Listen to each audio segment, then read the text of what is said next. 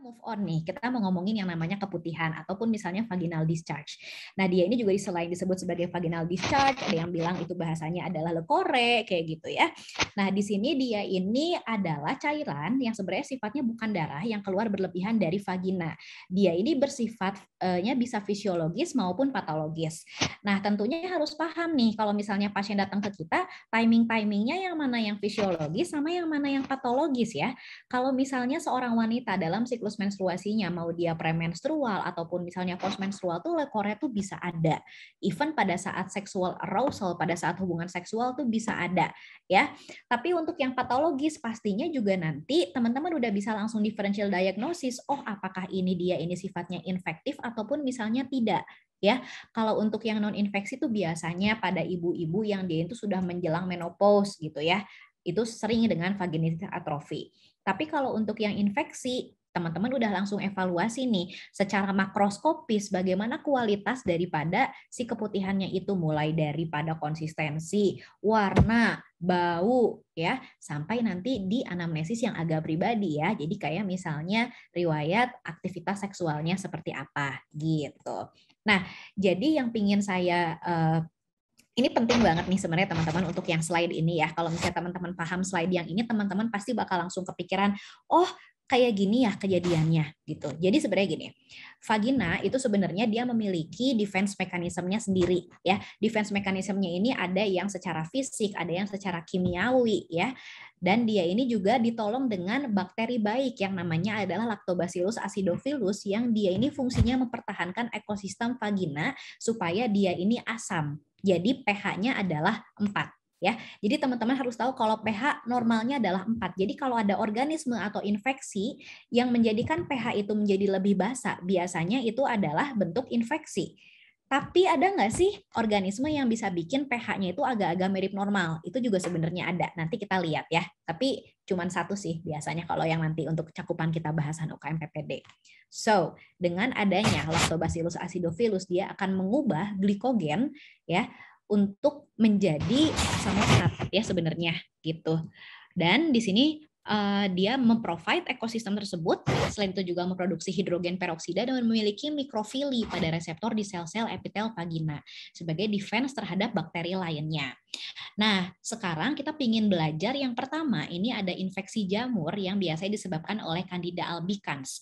Nama infeksinya adalah Candidiosis vulvovaginal dan di sini dia itu hidup di dalam suasana asam yang mengandung glikogen. Jadi walaupun misalnya nanti ada uh, kayak seakan-akan kok ini kayak keputihan ya, tapi kok misalnya pH-nya normal, tapi ibunya ngeluhin kok misalnya uh, keputihannya kayak misalnya susu pecah gitu. Nah, itu udah kita langsung dede ke kandidiosis gitu ya. Karena tuh lihat deh, pH-nya di sini 4 sampai 4,5 nih teman-teman. Jadi udah mirip-mirip sama yang namanya pH normal gitu. Nah, gejalanya di sini untuk membedakan dengan penyebab keputihan lainnya, dia ini sebenarnya yang bikin heboh tuh adalah gatalnya ya. Jadi nanti dia paling suka di dede itu sama trichomonas sebenarnya ya. Kalau misalnya di candidiosis, gatalnya yang lebih dominan dan dispareunia yang superficial. Tapi kalau di trichomonas itu sifatnya kebalik, dia justru e, disparenianya yang lebih e, mumpuni begitu. Nah, ketika misalnya teman-teman penasaran ya, kan kita biasanya inspekulo lakukan pemeriksaan inspekulo di sini seperti lihat ada yang namanya konsistensi duh tubuh vagina seperti susu pecah atau susu yang bergumpal gitu.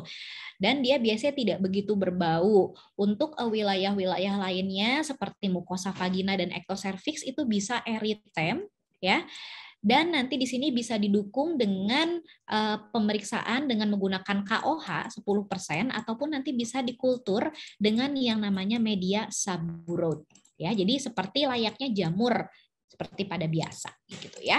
Oke, jadi itu eh, keywordnya kayak susu pecah gitu ya dan pH-nya mirip-mirip normal ada lagi infeksi protozoa, kita akan masuk ke dalam si ini trichomoniasis ya, trichomonas vaginalis. Di sini tuh pernah ada vignette yang iseng saya lupa di IP atau di mana gitu. Dia ngomongin undulasi membran dan lima flagel terus kayak mikir gitu kan saya ya waktu pertama kali ngeliat soalnya, apaan nih undulasi membran detail banget. Oh, ternyata maksudnya adalah ke sini, ke trichomonas vaginalis, bentuknya katanya kayak ada undulasi gitu tuh kayak kubah gitu.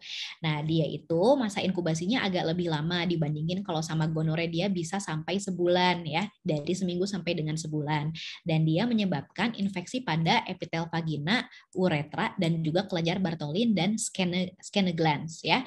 Penularannya sama, mirip yang tadi, sama yang pada laki-laki ya.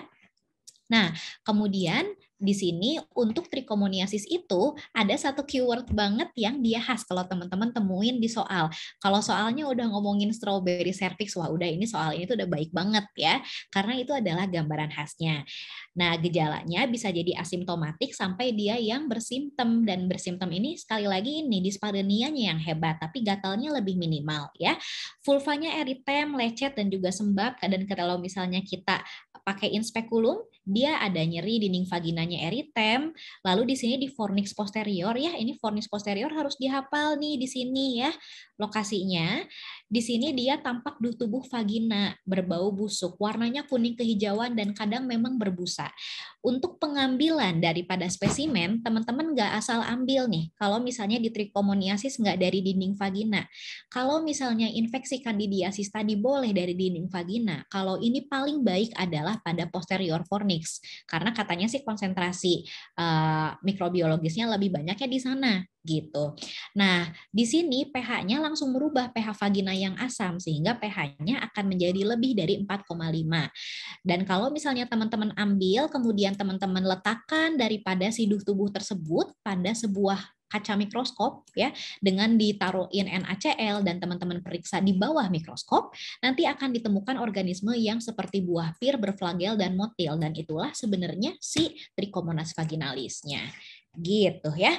Kalau misalnya saya terlalu cepat, tolong dibilang ya supaya saya bisa ngerem dikit. Oke, sekarang uh, untuk agen keputihan tadi udah kita bahas dua. Sekarang kita bahas yang ketiga, namanya adalah vaginosis bakterial ya. Nah, di sini dia itu bisa terjadi karena peningkatan bakteri anaerob seperti Gardnerella vaginalis, Mobiluncus dan juga Bacteroides. Oke, so gini sederhananya, tadi kan saya udah bilang ya, di vagina itu sebenarnya, maaf ya, saya gambar ya, di sini kan sebenarnya ada ekosistem yang dipertahankan oleh Lactobacillus acidophilus. Ya. Tidak semua vaginosis bakterial itu bisa terjadi karena hubungan seksual. Jadi dia itu bisa terjadi karena hubungan seksual ataukah tidak. Contoh yang paling sering di setting klinis ya, kalau ibunya misalnya suka pakai punten agak nyebut merek ya kayak sabun sirih kayak gitu ataupun misalnya uh, washing deterjen untuk dia itu membersihkan area genitalnya, dia dapat mengganggu ekosistem daripada flora normal, ya ekosistem flora normal yang ada. Bentar ya, ini kok kursornya hilang. Bentar ya. Nah, oke, okay. bentar ya.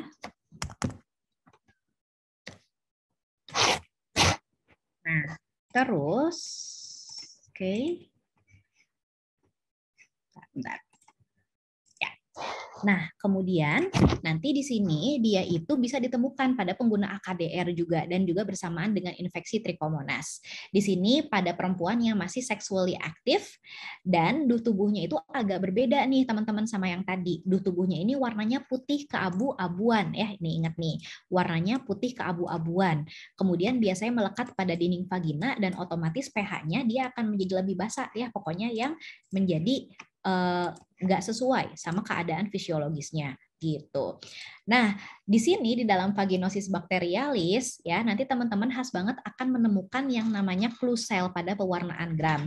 Apa sih yang namanya klusel itu? Jadi, klusel itu dia ini adalah sel daripada epitelial vagina yang dia ini normal, kemudian dia ini ketutupin nih teman-teman lihat nih yang warnanya ungu tuh sebenarnya dia adalah si bakteri-bakterinya gitu. Nah, si Gardnerella vaginalis ini dia tidak punya kapsul, dia tidak motil, dia bentuknya batang gram negatif sehingga dia itu ampuh banget kalau kita lawan pakai antibiotik yang namanya adalah metronidazole dan sifatnya adalah anaerob fakultatif begitu.